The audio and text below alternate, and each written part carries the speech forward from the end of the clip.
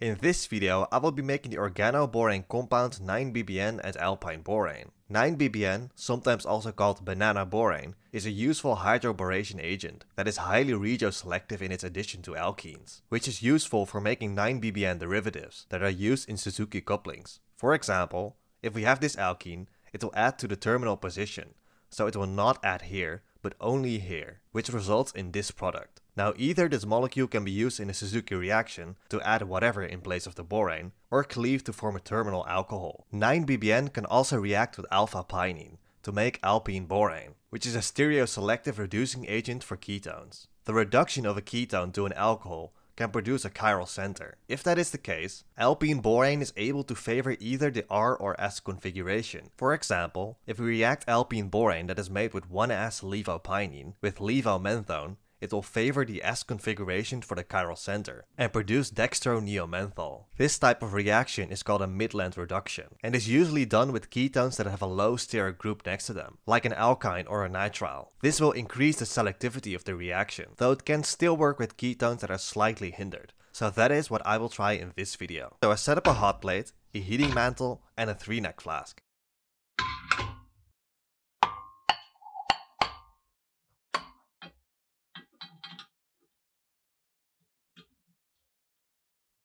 I then attach a short path distillation apparatus.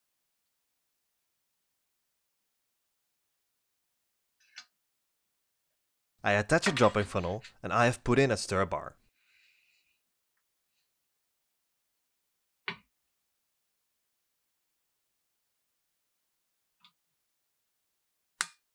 On top of that, I add 40 ml of dry 1,2-dimethoxyethane. Then with a syringe, I add 12.5 ml of borane dimethyl sulfide below the liquid surface.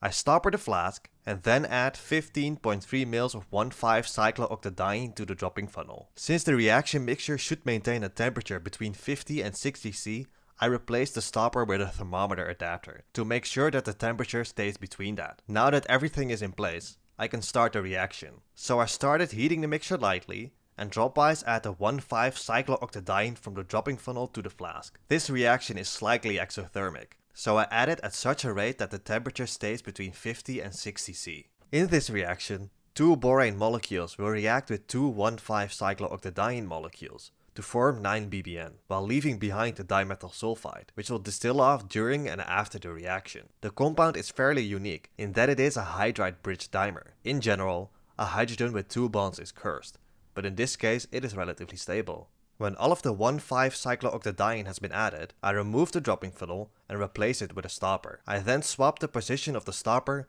and the short path distillation apparatus. Now I continue heating and increase the temperature to make sure all of the dimethyl sulfide distills over. If any dimethyl sulfide remains, the solubility of 9BBN in the mixture will increase, which will become a problem in the next step. The boiling point of dimethyl sulfide is only 37 C, but to make sure all of it is gone, the distillation is continued until 1,2-dimethoxyethane starts distilling over, which has a boiling point of 85 C. After a while, some white vapors are visible in the apparatus, and the temperature in the head starts increasing to 85 C, which means that 1,2-dimethoxyethane is coming over. So at this point I can stop the distillation. So I remove it off heat and quickly a solid starts crystallizing out of solution. The solid is 9BBN, but to make sure it's pure, I will have to recrystallize it two times. I remove the short path and then add 40 ml of dry 1,2-dimethoxyethane. I stopper the flask and set it back in the heating mantle and start heating until all of it dissolves. I make sure that the flask is only lightly stoppered and check it frequently so that no pressure builds up while also keeping contact with the air at a minimum.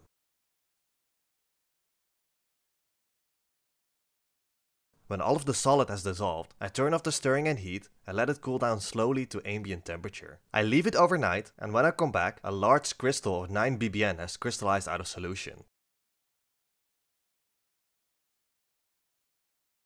Now I set up a waste beaker and I decant off as much of the liquid as I can. Since it's pretty much one big crystal, it goes relatively easily. Now to purify it even more, I will recrystallize it. So I added about 80 ml of 1,2-dimethoxyethane, and then I set it back into the heating mantle, and repeat the same process as before. To make it go a little faster, midway I poke the crystal with a spatula to loosen it, and then wait until everything has dissolved again. I take it off heat, but the crystallization doesn't seem to get started properly. So I gave it a little slap and then 9BBN started to crystallize out.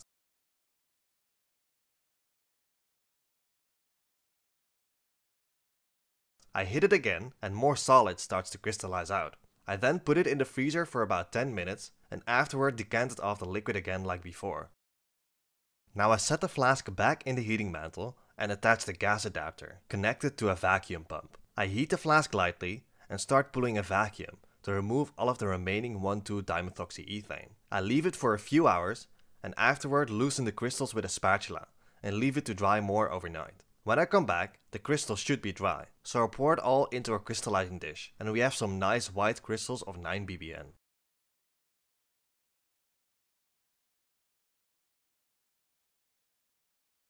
The yield turned out to be 8.72 grams, which is 57%. This is lower than the literature, but I didn't do the procedure in an inert atmosphere, I didn't recover all of it from the flask. I also used a little bit more volume of the solvent. Anyhow, now that I have the 9BBN, I can move on with the next step, which is making the alpine borane. So I set up a flask and attach a funnel. I store 3.7 grams of the 9BBN and will use the rest for this reaction. So I add 5 grams of the 9BBN and then add 41 ml of anhydrous THF. I start stirring and then add 7.3 ml of 1S levo alpha pinene.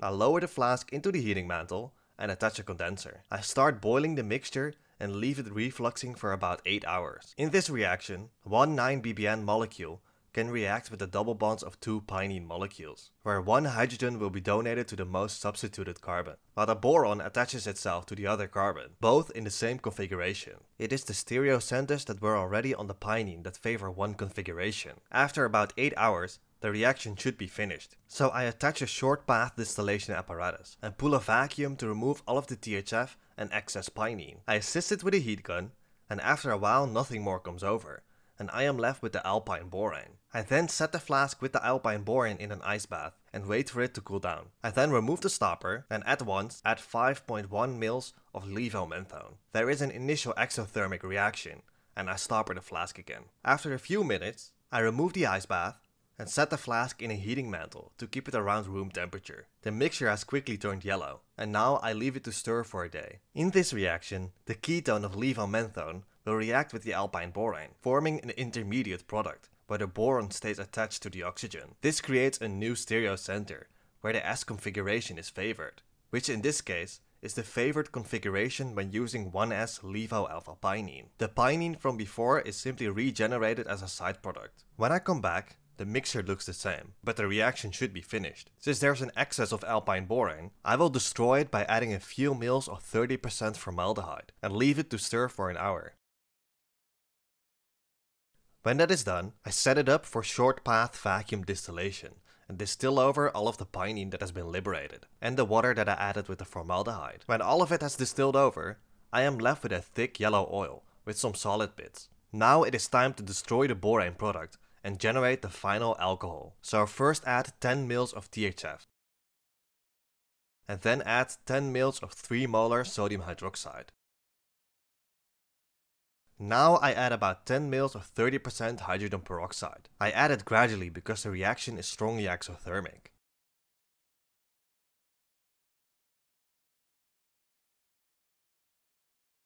When the addition is complete, I stopper the flask and leave it to stir for a few hours at 40 C. In this reaction, the borane part will be removed through oxidative cleavage, while leaving behind an alcohol in its place, with the same configuration. When it is done, it looks the same, and I now move the mixture to a separatory funnel. I wash the flask with some ether and then extract the aqueous phase a total of 3 times with ether. I then combined all the ether extracts and dried it with a bunch of sodium sulfate.